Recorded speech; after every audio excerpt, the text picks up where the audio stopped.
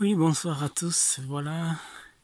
Et le sorgho est, comment, continue à, pousser, à pousser bien. Bon, voilà, donc euh, après quelques jours, les, les épis, euh, comment on les appelle Bon, je ne me rappelle plus. et voilà.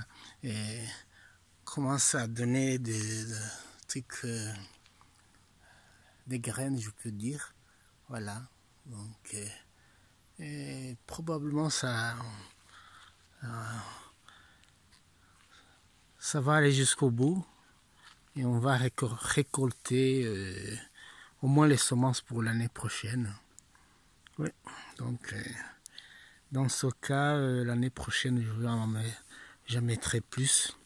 Donc ici à côté, les fleurs qui étaient bleues, oui, sont, sont devenues vertes. Et la saison passe et évidemment ça termine sa mission. Voilà, donc euh, au début euh, les fleurs étaient comme ça. Oh, la, couleur ça change. Oui, ça ne pas exactement. Bon, ok. Donc il y a l'autre là. Ah oui, peut-être euh, si je fais comme ça. Non, comme ça, non. Oui. Peut-être. Euh, oui, comme ça, c'est oui, c'est la couleur normale. Oui. Bon, voilà. Donc euh, ça, ça fait partie de, du jardin forêt. Et voilà.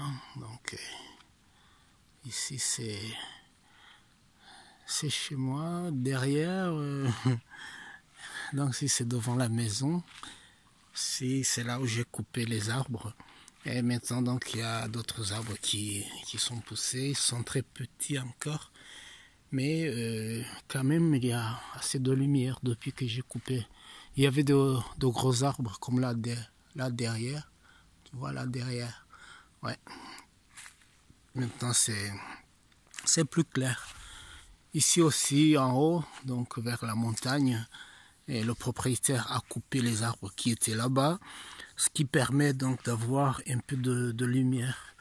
Euh, voilà, c'est bon. Bonne soirée à tous et tu parles donc où est-ce qu'il est, Voyons si on le, on le voit. Voilà. c'est moi. Voilà, ciao.